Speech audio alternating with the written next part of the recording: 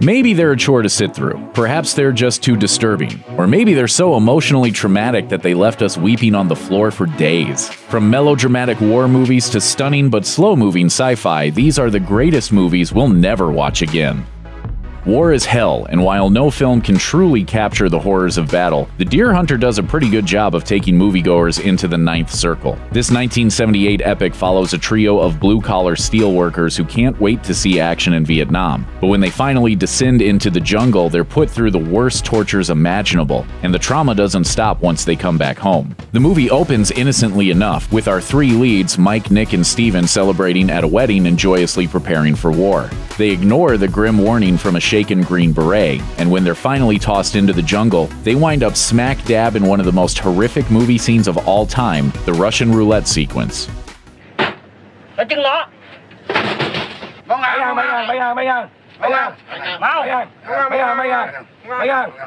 Captured by the Viet Cong, the friends are forced to play the suicidal game for the amusement of their guards, and the acting here is so intense that it feels like a genuine snuff film. All David Lynch movies feel a little dreamlike, but Inland Empire is pure subconscious surrealism, a cinematic fugue state that lasts over three hours. It's like you've stumbled straight into Lynch's worst nightmares. The movie is an impenetrably slow descent into a world of red lights, ambient noises, and digital camera work. And while you can always appreciate Lynch's avant garde genius, Inland Empire provides more questions than answers. There are a group that performs in traveling shows in the Baltic region. What's that got to do with you? For some fans, this might sound like an awesome experience, but for most moviegoers, Inland Empire feels like the world's worst acid trip. It's definitely worth watching once, but when it's over, you might be too overwhelmed to give it another shot. In The Killing of a Sacred Deer, Colin Farrell plays a heart surgeon named Stephen Murphy whose fondness for the bottle contributed to the death of a patient. Stephen refuses to admit any wrongdoing, and that's just not going to sit with the patient's son, an unusual teen by the name of Martin Lang. Your son told me that you've got lots of hair under your arms, three times more than I do, and that you've got a very hairy back and a very hairy belly. There's something off about Martin, and that's before he reveals his godlike power to enact revenge on Stephen's entire family. As part of his revenge scheme, Martin tells Stephen all his family members are going to die of a mysterious illness. They'll become paralyzed, and then they'll refuse to eat. And after they start bleeding from their eyes, they'll die. The only way Stephen can stop this plague is by killing a member of his family. The movie gets even darker when the family turns on each other, arguing why they shouldn't be the one to die. The desperation, the betrayal, the blood, it's all so cruel, and it culminates in one of the most disturbing climaxes ever filmed. Horrific in ways that no slasher film could ever achieve, The Killing of a Sacred Deer is a powerful film that you won't watch more than once. Instead, you'll want to put a curse on whoever recommended the film to you in the first place. It's the uh, the only thing I can think of as close to justice.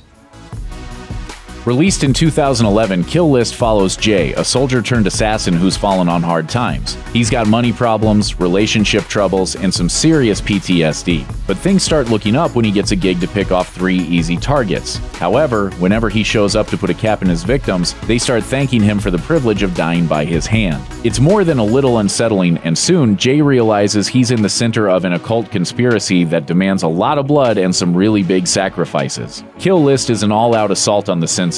Not only is it one of the most suspenseful movies ever made, but it's filled with disturbing sequences. The final showdown with a group of naked pagans is pure nightmare fuel, but it's the final few minutes that will leave you reeling. Arachnophobes beware. If eight-legged creatures give you the willies, then you might want to stay far away from Enemy. Directed by Denis Villeneuve, this eerie thriller is full of spider imagery. Shot in a sickly yellow hue, Enemy stars Jake Gyllenhaal as a college professor who's made an unsettling discovery. After renting a particular film, he spots an actor who looks exactly like him. Eventually, the two doppelgangers collide, and let's just say they don't become best of friends. Actor Gyllenhaal is a grim and violent man and pulls depressed and weary Professor Gyllenhaal deeper and deeper into his web of darkness. Playing two roles, Gyllenhaal makes your skin crawl with his characters engaging in all sorts of unsavory activities. Enemy is a film that's likely to make you queasy and uneasy, and that's even before you get to the absolutely horrifying ending scene. Uh, never know how your day's gonna turn out. Based on a tragic true event, Fruitvale Station tells the story of Oscar Grant, a 22 year old man who was killed by a Bay Area rapid transit officer in 2009. We watch Oscar bonding with his daughter and connecting with strangers. We see him smile and laugh, full of life. Sure, he's got some issues, but he's a sincere guy trying to make things better. And what hurts is that we know he'll never get that chance. Director Ryan Coogler does an excellent job of showing Oscar as a living, breathing human, not just a statistic. He loves, feels pain, makes mistakes, and affects so many people. But all his chances for a brighter future are brought to a bloody halt when he's shot in the back for absolutely no reason. He leaves behind a child, a girlfriend, and a mother. A human being bleeds to death on New Year's Day, and as Fruitvale Station comes to an end, we're not just depressed, we're mourning a life that was taken far too soon.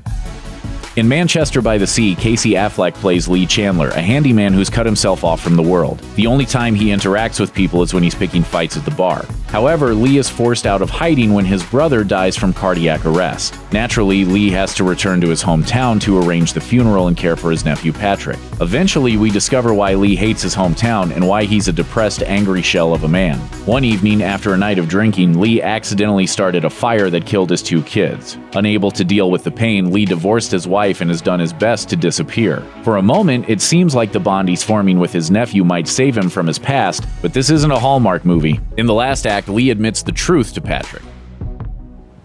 I can't beat it. I'm sorry.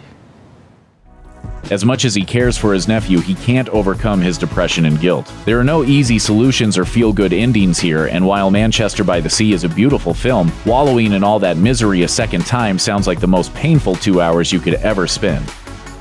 Directed by Denis Villeneuve, Blade Runner 2049 is one of the most gorgeous movies ever made. A worthy follow up to the 1982 original, this stunning sequel nabbed cinematographer Richard Deakins the Oscar award he's always deserved. From its barren desert wastelands to its neon holograms, 2049 is a visually rich world of replicants and artificial intelligence, all beautifully bathed in smog and city lights. However, it's not exactly what you'd call a fast paced film. In fact, you might even call it a slog. The movie follows Ryan Gosling as K, a Blade Runner who stumbles across a mystery that might revolutionize the entire world. Crazier still, he might be at the center of a vast conspiracy, and during his quest for the truth, he meets the original Blade Runner himself, Rick Deckard. But while K does indeed solve the mystery, the film takes its sweet time in getting to the answers. While Blade Runner 2049 is a fantastic work of science fiction, it runs almost three hours long, and even thinking about rewatching it might be enough to make you a little sleepy. After winding up in the world's scariest club, the members of a punk rock band stumble across a particularly nasty murder scene. Knowing the alt right owners aren't going to let them walk away, the band members lock themselves in the titular room and prepare for war. But jujitsu will only get you so far when your opponents are walking around with pistols and pit bulls. With our heroes completely outmatched, Green Room quickly devolves into a gore soaked nightmare of ripped out throats and nearly severed limbs. Unlike a lot of other horror films, the deaths in Green Room aren't at all fun. These kids are screaming in genuine pain as they're mangled by dogs and hacked by machetes. Green Room is fantastic, but at its core, the movie is as mean and nihilistic as cinema gets. And while the rockers eventually take their revenge, so much blood gets splattered on the walls by the end that it should probably be renamed Red Room. A passion project for Martin Scorsese, Silence features no gangsters, no dirty cops, and no taxi driving assassins. Instead, the story follows two Jesuit priests, Father Rodriguez and Father Garupe, as they head to Japan to find a missing priest, Father Ferreira. Steadfast in his faith, Rodriguez is tested when he falls into the hands of a ruthless Japanese governor. Practicing Christianity in Japan was punishable by death in the 17th century, but the governor doesn't just want to murder this priest. He wants to break his spirit and make him renounce his beliefs. Think about the suffering you have inflicted on these people. Just because of your selfish dream of a Christian Japan. On top of the physical torment, Father Rodriguez is in constant spiritual pain. Should he recant and damn his soul to save the lives of others? And in the midst of all this pain, why is God so silent? Whether you're a believer or an atheist, silence is a painful reminder that faith is never easy, and the silence of the universe is the most painful torture of all. We have our own religion, Padre. Pity you did not notice it. Oh, no, no. We just think a different way.